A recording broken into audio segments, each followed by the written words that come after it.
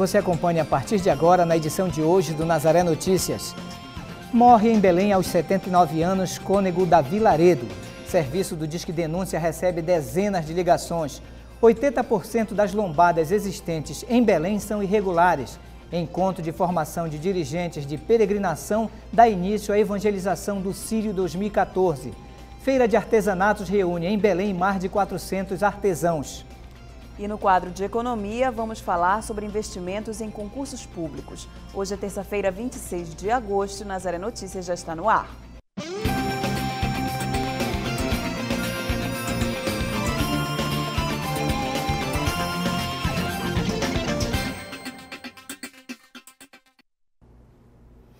A edição de hoje começa falando de combate à corrupção eleitoral. O Disque Denúncia Eleitoral já recebeu mais de 50 ligações sobre irregularidades praticadas por candidatos políticos. As denúncias foram enviadas ao Ministério Público que apura os casos. A denúncia chega através do telefone, seja pelo 0800 ou WhatsApp. Depois é enviada para o Ministério Público Eleitoral. No Pará, doutor Alan Mansur está entre os quatro procuradores eleitorais que recebem as denúncias. Propaganda eleitoral irregular também ela é feita para convencer, quanto mais eleitores, melhor. É, crime eleitoral, compra de votos também tenta convencer muitos eleitores, tenta ganhar esses eleitores. Então, normalmente são crimes e irregularidades praticadas é, publicamente em busca de alguns eleitores, 10, 20, 30, 100, uma comunidade inteira, enfim. Então, por isso que é importante que o eleitor sempre fique sabendo dessa irregularidade. E é importante que ele possa trazer essa denúncia ao Ministério Público para que possamos eh, tomar as providências. Enquanto mais informações o eleitor trouxer, se puder trazer foto, vídeo, testemunha, indicar quais pessoas estavam presentes, em que dia, em que local existe uma propaganda irregular, por exemplo. Isso vai facilitar. A participação da população paraense através do Disque Denúncia ocorre desde 2002. Este ano foi implementado o WhatsApp como uma nova ferramenta para também receber as denúncias. Os números são 0800 09 60 003 ou WhatsApp 84035255. Para que a denúncia tenha fundamento, é importante que a população conheça as leis eleitorais, o que é permitido e o que não é permitido durante as propagandas. Para isso, a Justiça disponibiliza o endereço na internet www.justiçaeleitoral.jus.br. Lá está disponível o Manual da Propaganda Eleitoral.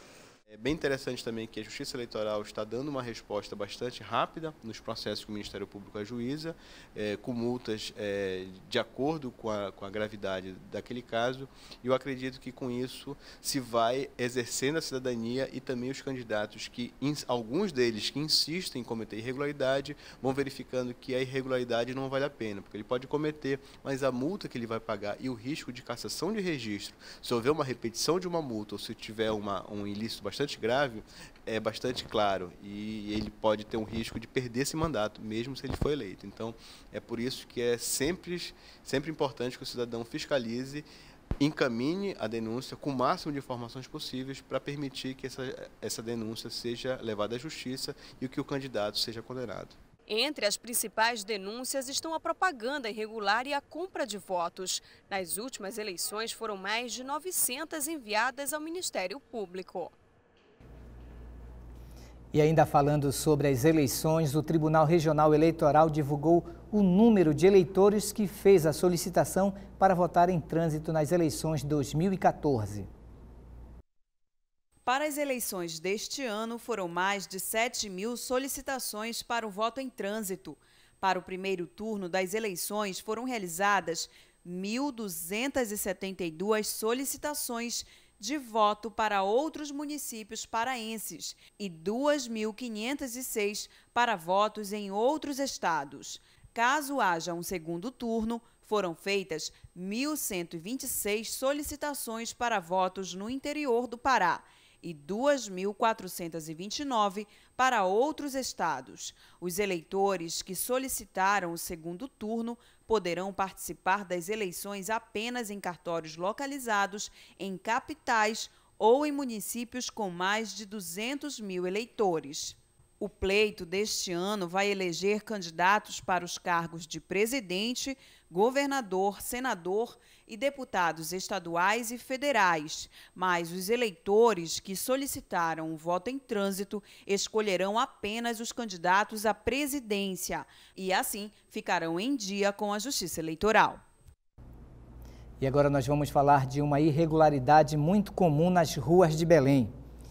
Na região metropolitana, 80% dos redutores de velocidade são construídos pela população. São lombadas que estão completamente fora dos padrões do Código de Trânsito Brasileiro. As lombadas irregulares estão espalhadas por todo lugar, principalmente nas áreas periféricas. Nesta rua do bairro da Cremação, após a pavimentação, a companhia de transportes instalou redutores de velocidade. Mesmo assim, os moradores colocaram uma lombada. Nesta outra, sem fluxo intenso de veículos e com menos de um quilômetro de extensão, há três lombadas. A situação segue neste outro trecho. A lombada feita em concreto está se desfazendo e deixando os buracos no asfalto. O morador tenta explicar. O rapaz quebrou isso aí um pouco, tirou mais ela aí. Porque estava muito alto. Estava muito alto. As lombadas são feitas fora dos padrões do Código de Trânsito Brasileiro e viram um verdadeiro obstáculo. Ah, elas nunca são agradáveis para carro nenhum, né? É complicado, quebra o carro. É, eu, por exemplo, vou ter que fazer um, um serviço hoje. Marquei, passei, porque o feixe de mola escorregou. O carro está penso. Para os moradores, o que importa é a sensação de segurança. Passava demais carro rápido, né? E é demais criança, muita criança.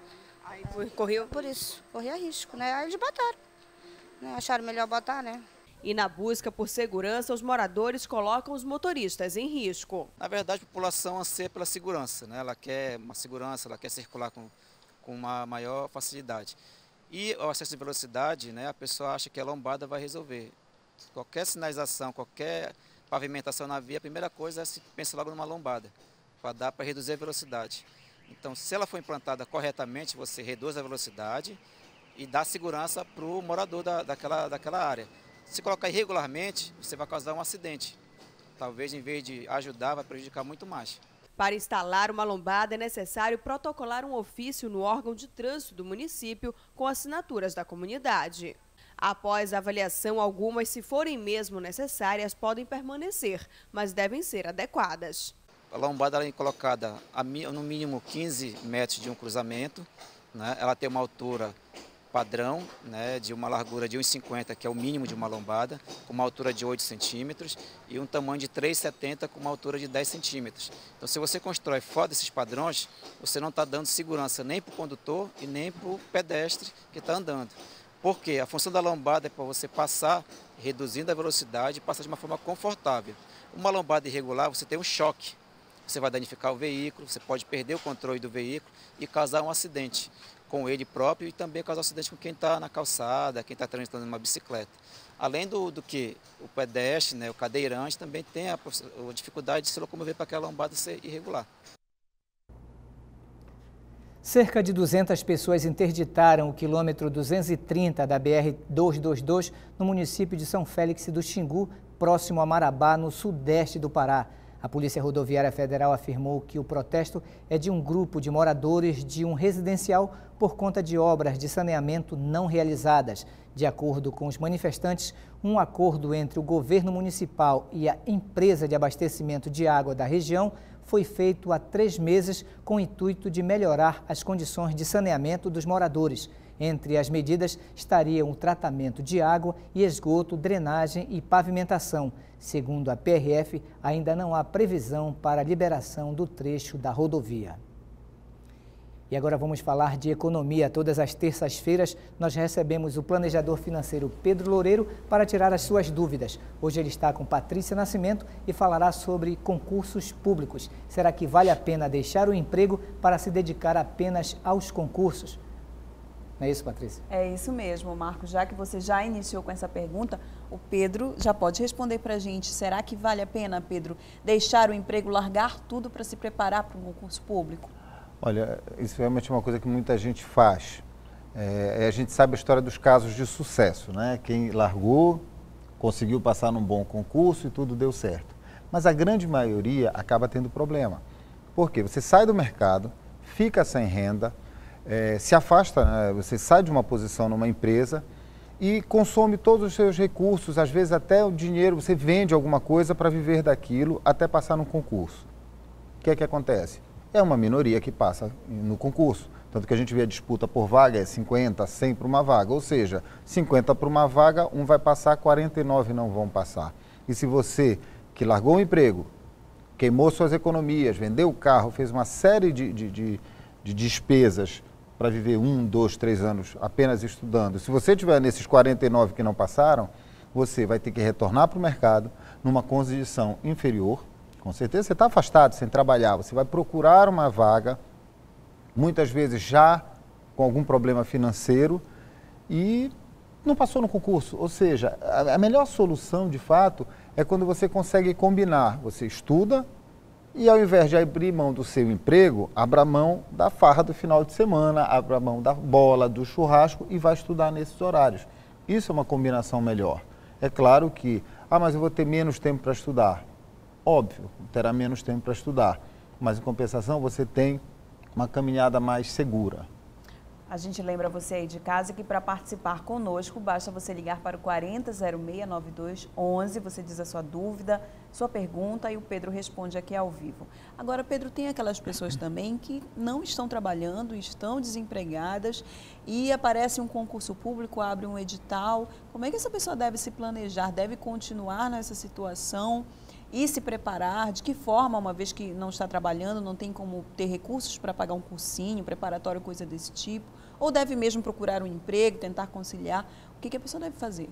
Olha, algumas profissões, né, algumas atividades profissionais, o próprio dia a dia já dão a você um pouco de conhecimento, claro que não tão substancial assim, mas lhe dão um certo conhecimento que você pode aplicar no próprio concurso e lhe dão uma tranquilidade financeira é, é muito bom quem está ativo, produzindo, até a cabeça fica melhor para você sentar e estudar. Eu sou contra essas, é, é, essas situações que as pessoas dizem, não, eu vou só estudar porque eu tenho que passar no concurso. Às vezes a cabeça fica tão pressionada que você não consegue até assimilar com uma certa tranquilidade. Então, se você está desempregado, continue procurando emprego e aproveite, claro, esse tempo que está um pouco mais ocioso para dar uma carga no estudo. Mas procure um emprego, estar no mercado é bom, mesmo porque, vamos lembrar o seguinte, lamentavelmente, passar no concurso não significa ser chamado.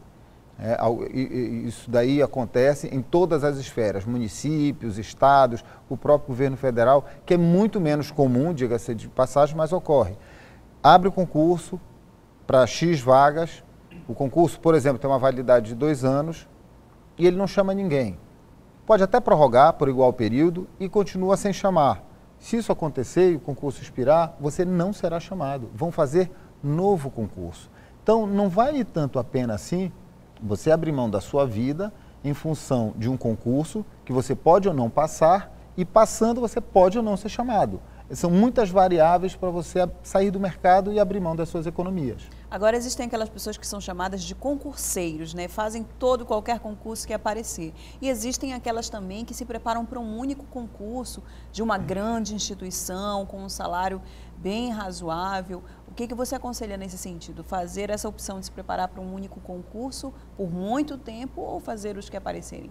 É, o que acontece? Eu acho que, na verdade, nenhum nem outro para a maioria. Claro que se você tem uma carreira específica, como uma carreira jurídica, você não tem muitas opções. É na carreira jurídica que você tem que buscar. As outras pessoas, tem gente que atira para tudo quanto é lado. É muito melhor você, claro, fazer mais de um concurso, tentar mais de uma vez, mas focar em carreiras similares. Né? Você busca similaridades.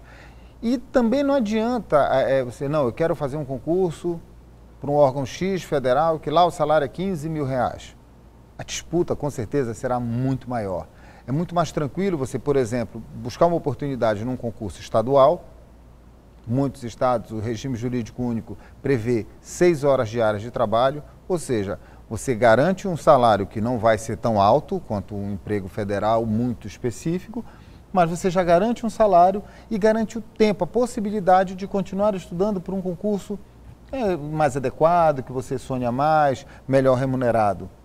Ou quem já ficar satisfeito com esse concurso, lembre, você pode passar, digamos, num concurso estadual, 30 horas semanais das suas 6 horas diárias, você pode continuar trabalhando em outros lugares ou mesmo tendo uma empresa.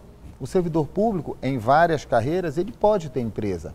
Ele não pode ser o administrador. Então, no contrato social, tem que existir um outro administrador, mas ele pode ser sócio. Então, é uma combinação que você pode fazer. Eu acho que a estratégia, a melhor estratégia é você definir o seu objetivo, as suas possibilidades e não sair descartando as coisas, como vou descartar um emprego ou vou descartar um concurso só porque a remuneração é menor. Porque é, quando a gente olha no edital, é comum encontrar, ah, a remuneração inicial R$ 1.500 e a pessoa acha que vai ganhar aqueles 1.500 para sempre.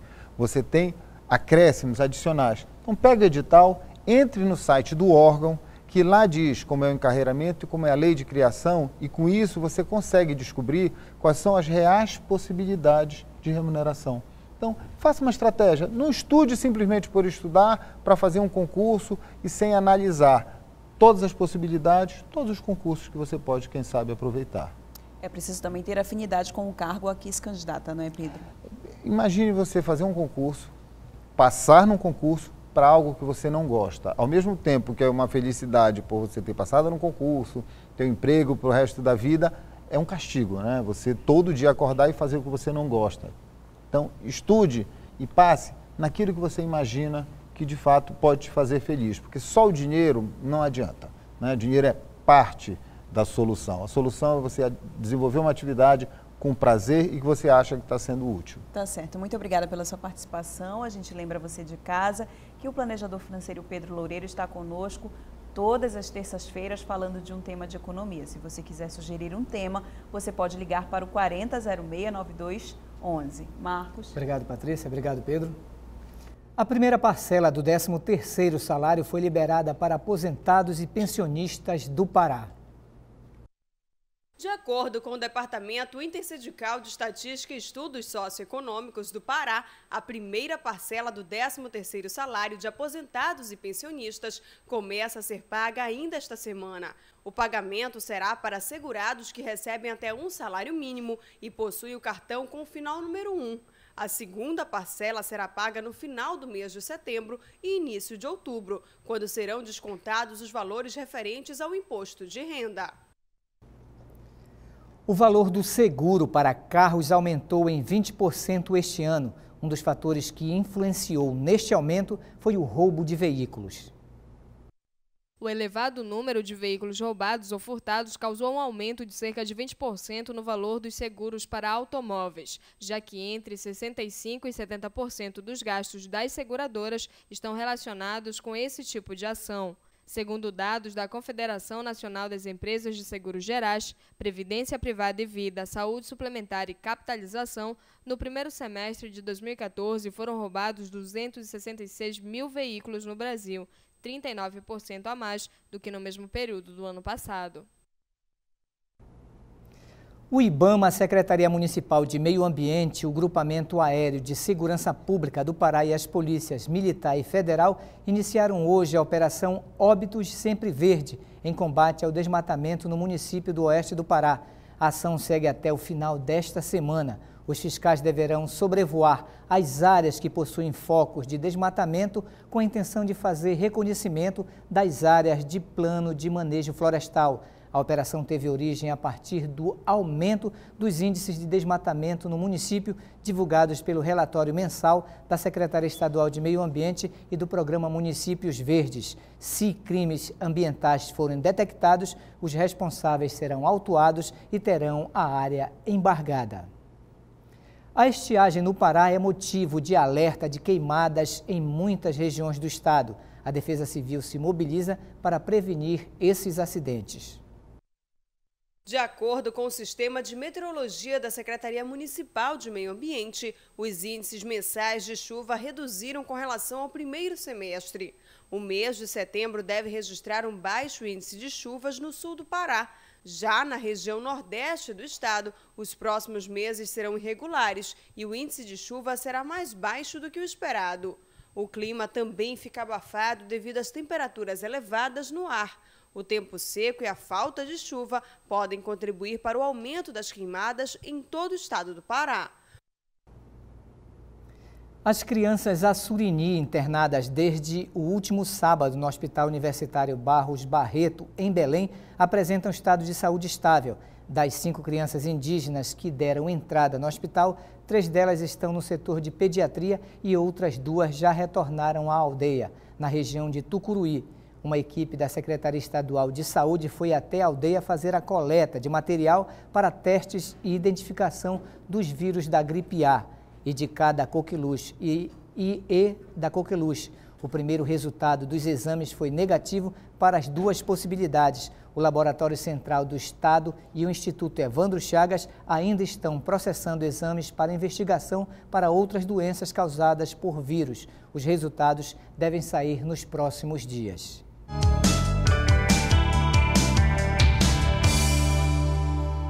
Hoje, como a dica da saúde do dia, vou falar sobre a prevenção da, nas doenças cardiovasculares. Sabemos hoje que as doenças cardiovasculares são as que afetam a maioria da população e que leva a grande morbidade e mortalidade no nosso meio. Hoje não atinge só os homens, atinge também as mulheres. Com isso, a necessidade da prevenção e, da, e dos exames preventivos. A partir dos 40 anos, todas as mulheres e os homens já devem fazer o seu risco cardiovascular. O que mais leva a acidentes cardiovasculares, sabemos hoje que é a má alimentação e as doenças genéticas. Né? Quanto à má alimentação, nós podemos eh, melhorar essa alimentação através de evitar frituras, gorduras, carnes muito gordurosas, sedentarismo, o fumo, o excesso de álcool. Sabemos que esses fatores associados ao estresse e à perda do sono e aos fatores de excesso de trabalho, eles levam ao paciente a ter as doenças cardiovasculares mais precocemente.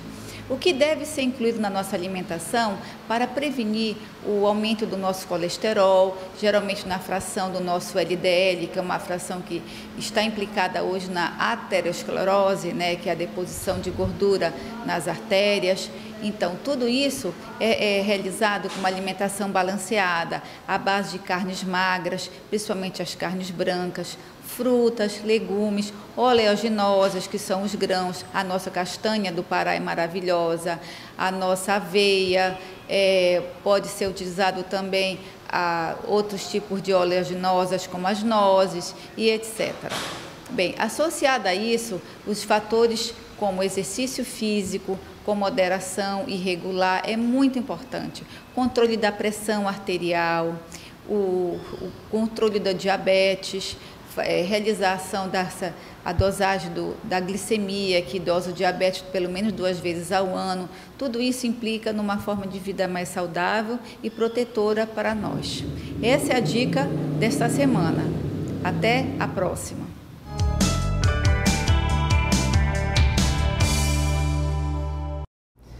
O Ministério Público Federal e o Ministério Público do Estado do Pará recomendaram a suspensão de qualquer licença ou autorização para a empresa de pesquisa energética realizar estudos para hidrelétricas na bacia do rio Trombetas, no, nor no noroeste do Pará. Marcos, a autorização foi enviada para a Secretaria de Meio Ambiente do Pará com caráter de urgência para que ela suspenda a autorização cometida à empresa de pesquisa energética.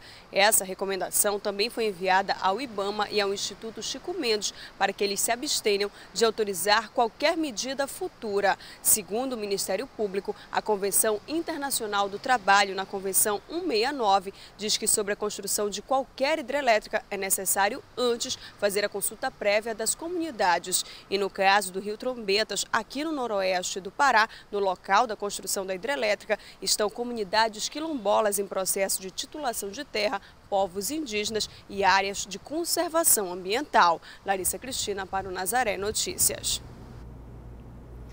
A Defensoria Pública irá realizar em Cametá, no Nordeste do Pará, um mutirão carcerário na área de execução penal nas próximas quinta e sexta-feira.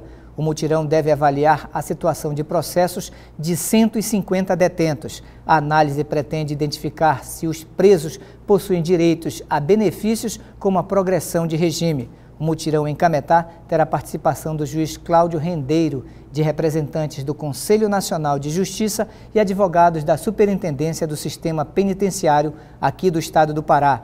Na região metropolitana de Belém, o mutirão carcerário do CNJ em plena atividade até o mês até o dia 29 deste mês. E você acompanha ainda nesta edição Morre em Belém aos 79 anos, Cônego Davi Laredo. Encontro de formação de dirigentes de peregrinação dá início à evangelização do Sírio 2014. Feiras de artesanatos reúnem em Belém mais de 400 artesãos. Uma partida de futebol interreligiosa pela paz, pela integração religiosa e racial em honra ao Papa Francisco. A iniciativa foi apresentada oficialmente ontem no Vaticano e a partida acontecerá na próxima segunda-feira, dia 1 de setembro, no Estádio Olímpico de Roma.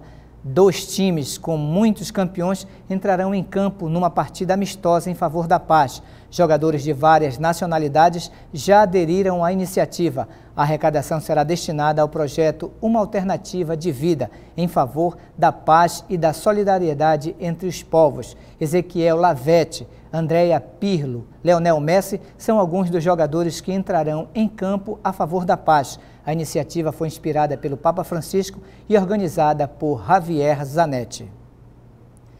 Faleceu hoje, aos 79 anos, o cônego Davi Laredo. Ele estava internado na UTI do Hospital Beneficente Portuguesa, em Belém, e foi pároco da paróquia de Nossa Senhora da Conceição, no bairro da Cidade Velha, por mais de três décadas. Cônego Davi Laredo foi ordenado sacerdote em 1968 na cidade de Garanhuns, em Pernambuco. Ao chegar em Belém, atuou na paróquia de São Judas Tadeu.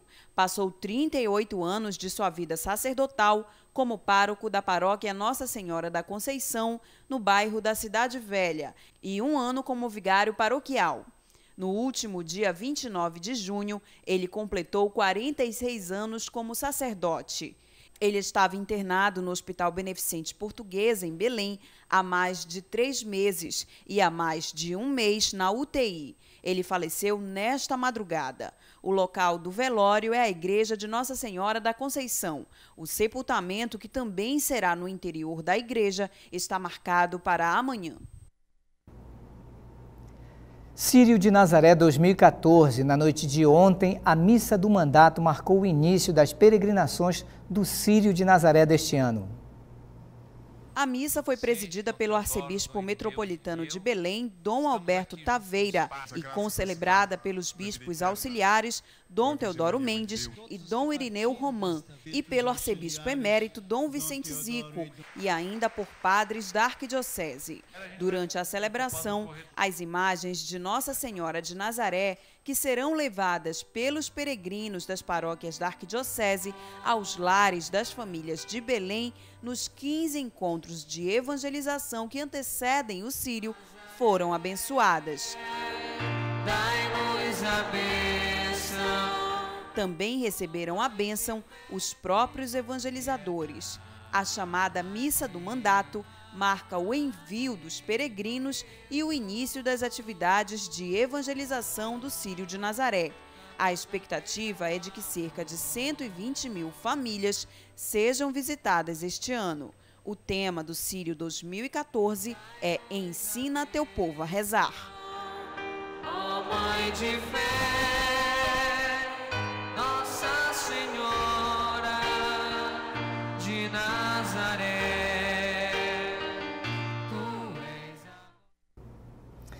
E no último domingo aconteceu o encontro de formação de dirigentes de peregrinação no Hangar Centro de Convenções e Feiras da Amazônia. Esse é o início do trabalho de evangelização nos lares das famílias paraenses.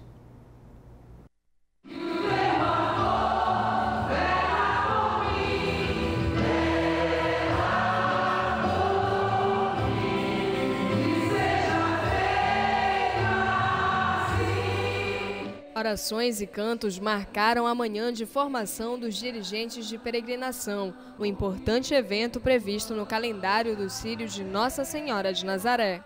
As peregrinações são uma grande campanha de evangelização. Ano passado atingimos mais de 120 mil famílias. Queremos alcançar um número maior neste ano. É uma grande alegria, porque é o caminho como se fossem formiguinhas espalhadas por todo lado para levar a boa nova do Evangelho, conduzidas pelas mãos de Nossa Senhora. É nessa alegria que nós fazemos este encontro de treinamento dos líderes de peregrinação e que nós os abençoamos para que vivam a sua missão até o céu. A peregrinação com a imagem de Nossa Senhora de Nazaré nos lares paraenses começou a ser feita em 1972 com o objetivo de melhorar espiritualmente os devotos para o Sírio de Nossa Senhora. Todos os anos, centenas de pessoas são formadas para atender essa demanda. Este ano, são esperados que 130 mil lares sejam visitados. Ano passado, como foi dito, em torno de 120 mil famílias foram visitadas. Esse ano, segundo o DIES, inclusive, é, é, se tem a ideia de que em torno de 130 mil famílias serão visitadas. Se nós considerarmos que em cada família tenham 10 pessoas em média, nós teremos aí, se Deus quiser, em torno de 1 milhão e 300 mil pessoas que serão alcançadas por esse instrumento de evangelização que é o livro que está sendo lançado hoje. Cerca de 2 mil pessoas se fizeram presentes na formação. Francisco é dirigente de peregrinação há cinco anos e não esconde o prazer de realizar a ação. O que fica é Jesus forte no nosso coração. Idileia também realiza as peregrinações há anos e até ensina como se deve fazer. Chega com as pessoas, você não quer receber a imagem de Nossa Senhora na sua casa, e as pessoas, né? Quem que não quer receber, né? Durante a orientação, Dom Alberto citou um pensamento de Papa Paulo VI, ratificado pelo Papa João Paulo II, de que a evangelização passa pelo contato insubstituível de pessoa a pessoa, aquela conversa de pé de ouvido tão desejada por muitos. E é com esse desejo que os discípulos missionários voltaram para casa no domingo. Maria.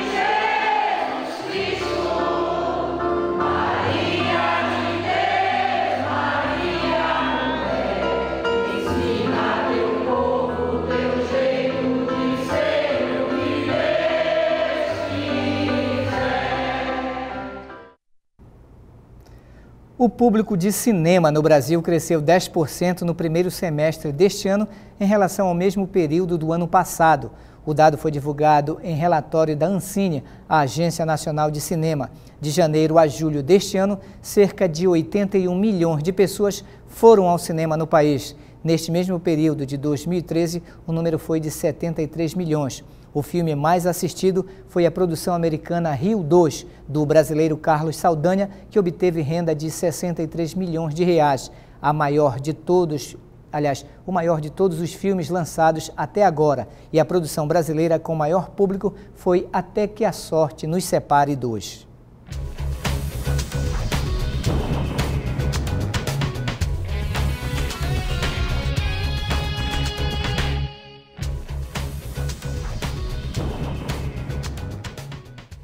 Em Alenquer, no Pará, o tempo ficará parcialmente nublado e com pancadas de chuva. A temperatura mínima é de 22 graus e a máxima de 34. Em Macapá, no Amapá, o tempo será encoberto e nublado. A temperatura mínima será de 24 graus e a máxima de 34. E em Viseu, no Pará, o tempo ficará nublado e com possibilidades de chuva pela parte da tarde. A temperatura mínima é de 22 e a máxima de 34 graus.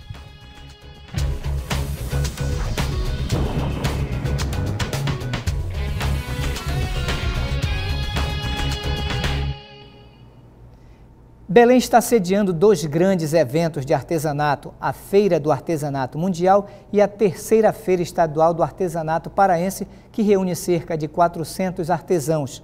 O evento contribui para o reconhecimento nacional da produção paraense.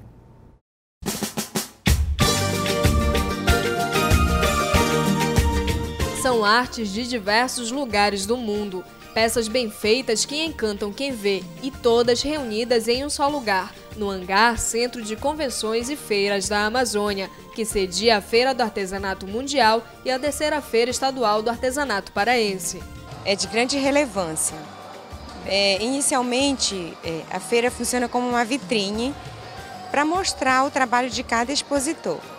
Mas no decorrer das edições, o volume de negócios foi aumentando. Então, é, os, os, artesãos, na verdade, eles são guerreiros, eles formam uma comunidade e, e, e, como na prática alguns artesãos já tiveram benefícios, eles vão divulgando para os outros colegas. Desde a primeira edição, a gente tomou a iniciativa de fazer a rodada de negócios. Assim, esse ano a gente tem oito estados que trouxeram os seus lojistas e, e já faz a encomenda para o ano inteiro. O evento é uma parceria com a Feira de Artesanato Mundial. O objetivo principal da FAM, da Feira do Artesanato Mundial, é promover negócios de artesanato em cada estado por onde ele passa. Então, aqui nesse momento, na, na Fesarte Pará, 12 lojistas de vários estados brasileiros, lojistas de artesanato, de vários aeroportos brasileiros, que vêm participar dessa rodada para fazer compra no local, aqui dentro da feira do artesanato paraense e também levar consigo não só o artesanato paraense que ele comprou, mas ele leva consigo o, o endereço dos o contato dos nossos artesãos paraenses dentro da sua carteira de fornecedores. Estão presentes aqui na feira representantes de 63 municípios paraenses, 15 estados e 22 países. Uma mistura que enriquece o conhecimento do artesão paraense e leva o artesanato do Pará a outros lugares do Brasil e do mundo. Ângela está empolgada com a oportunidade. Olha, ajuda muito, até porque aqui é divulgação né, do nosso trabalho, que a gente está, graças a Deus, vendendo bem. Então a gente deixa uns cartãozinhos, a gente vai né, conversando com as pessoas e isso é muito bom. A gente já teve outras feiras, essa aqui está sendo ótima, né? A gente vai conhecendo outras pessoas, é muito legal, acrescenta bem na nossa rendabilidade.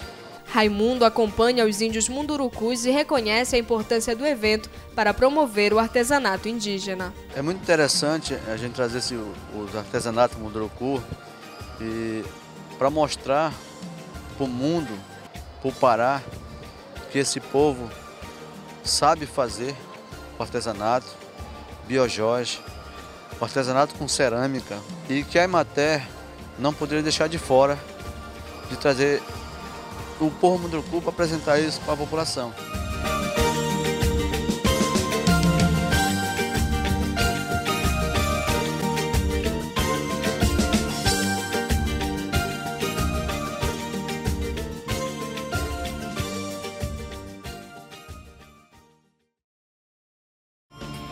E essas foram as notícias de hoje. Para dar sugestões de reportagens, ligue para a nossa central de atendimento no número 4006-9211. Se você quiser rever nossos vídeos, acesse o portal Nazaré www.fundacionazaré.com.br ou acesse a nossa página no Facebook. Nazaré Notícias fica por aqui. Nos encontraremos amanhã na próxima edição. Até lá!